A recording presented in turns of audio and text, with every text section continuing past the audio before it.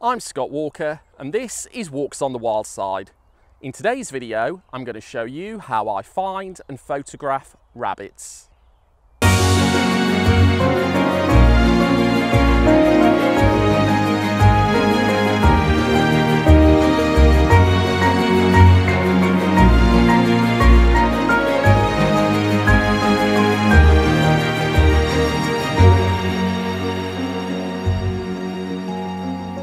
Welcome back to Walks on the Wild Side. Sorry it's been such a long time since the last video, but in this crazy year we've all had, other things have taken priority. But I'm back now and planning to put out videos on a more regular basis. For this first video back, I thought it'd be great to photograph some rabbits because their populations started to explode. They should be a couple of litters in now to the breeding season, so it's a great time to photograph them.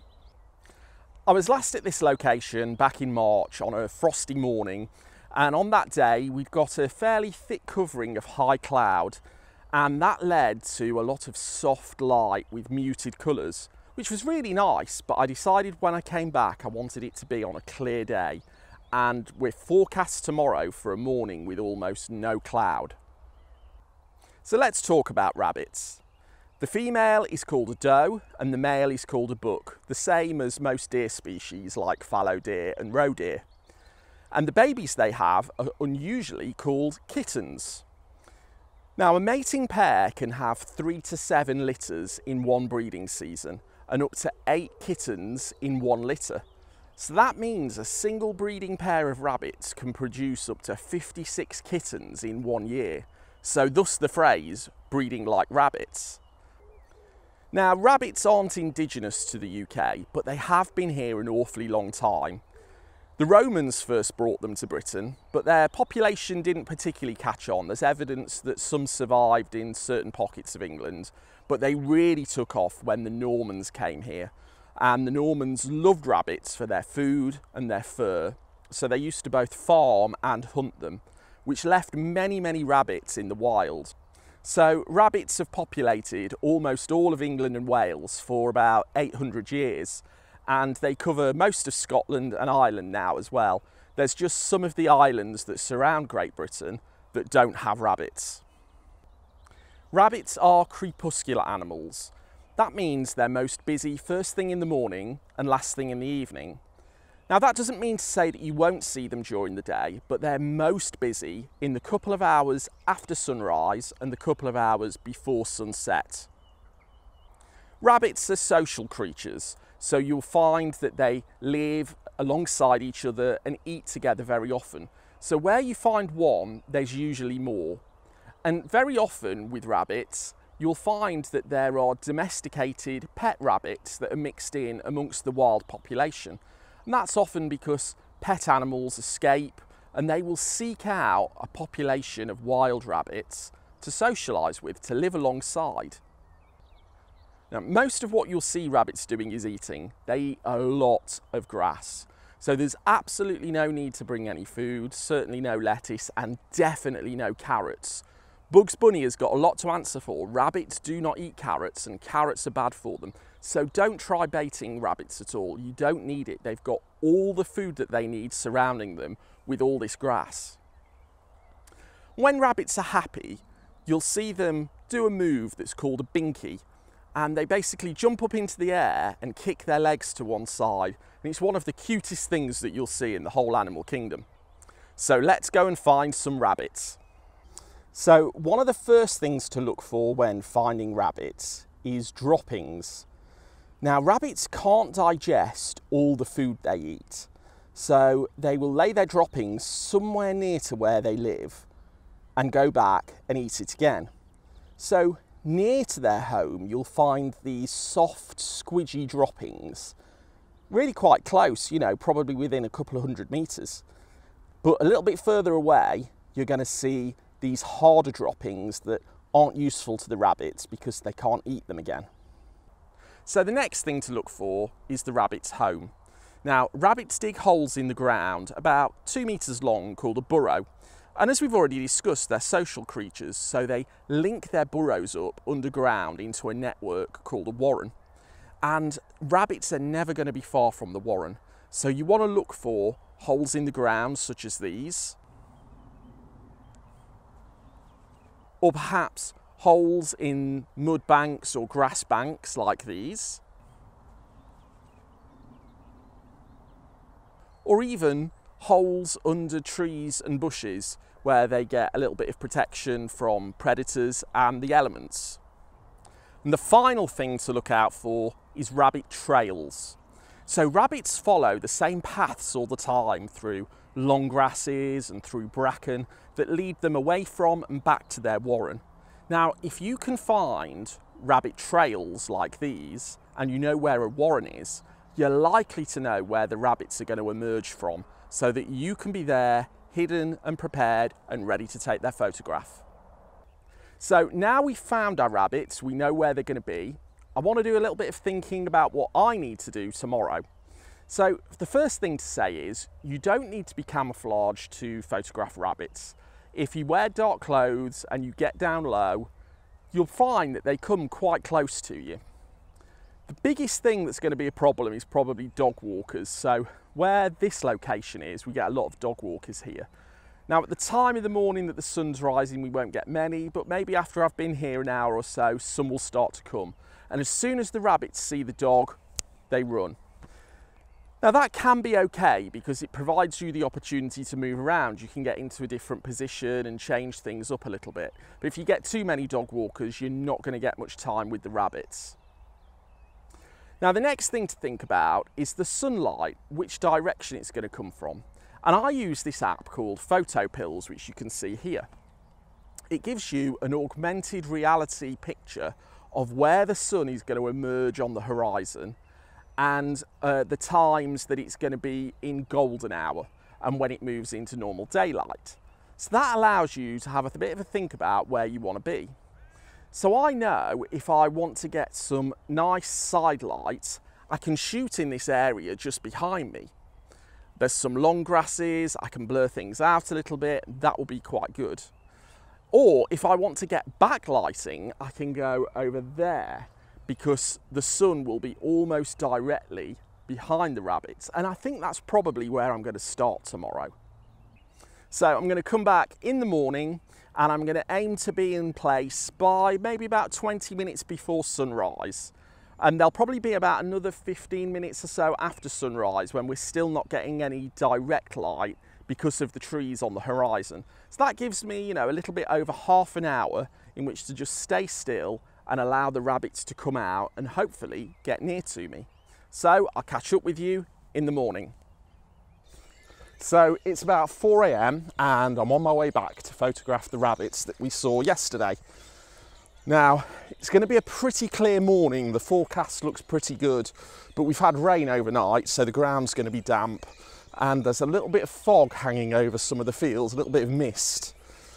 Um, so I might need to wait for that to clear. But because we're going to have fairly clear skies, my plan is to get myself into a position where we can get some backlit photos to start with, maybe some silhouettes, things like that.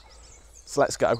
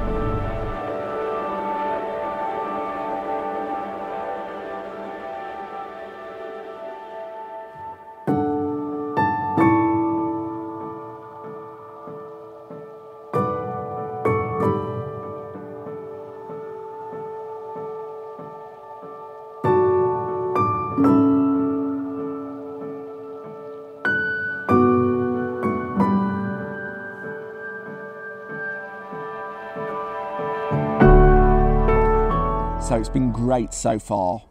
There's a couple of things I've noticed. One, the rain. Although I'm soaked to the skin and probably caked in mud and grass, actually the rain has really helped because there's parts of the photos where the light is just glistening off the grass and that's really making a difference. Another thing, the dog walkers have started to come out and far from being the problem that I normally think they are for me, I've noticed a difference in the rabbit's behaviour. What they're doing is running to the edge of the field and hiding in the bushes and the trees that surround it. And they'll wait and watch and just look to see if that dog walker comes towards them. And if it doesn't, they'll come back out pretty quickly and start eating again. Now that provides me an opportunity because if I can get a photo of a rabbit in those bushes with some light shining on it, I can get some quite nice high contrast pictures. So I'm going to try for a few of those whilst we've still got a little bit of this golden morning sunlight left.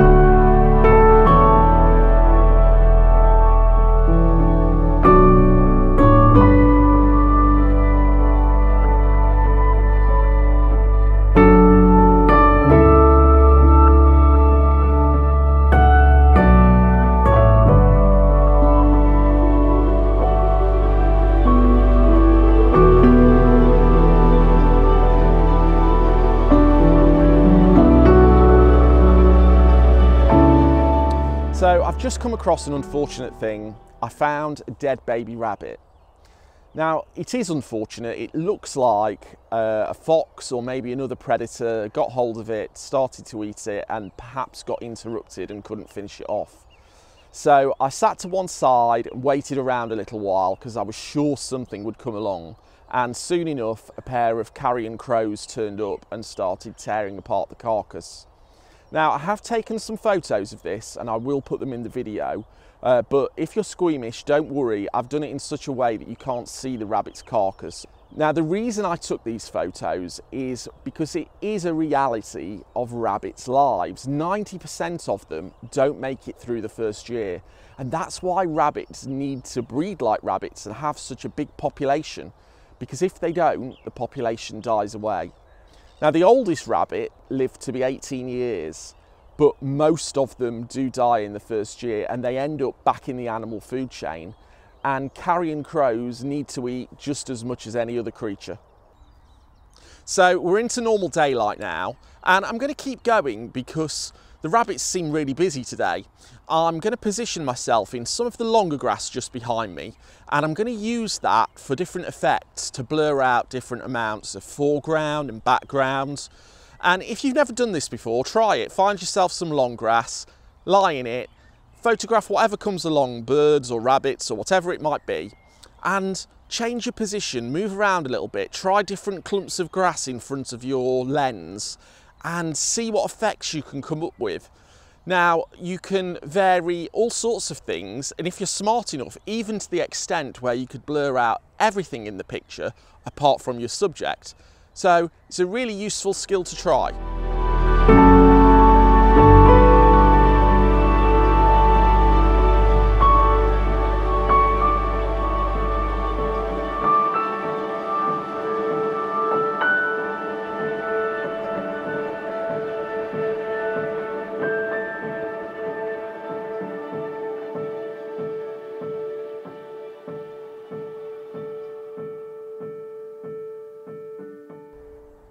Well, it's now nearly eight o'clock and I'm cold and I'm wet. But despite that, I've had a great time. I'm really pleased with how some of the photos today turned out. Um, but I'm gonna head home, grab a bowl of porridge and a cup of coffee. So that's the end of today's video.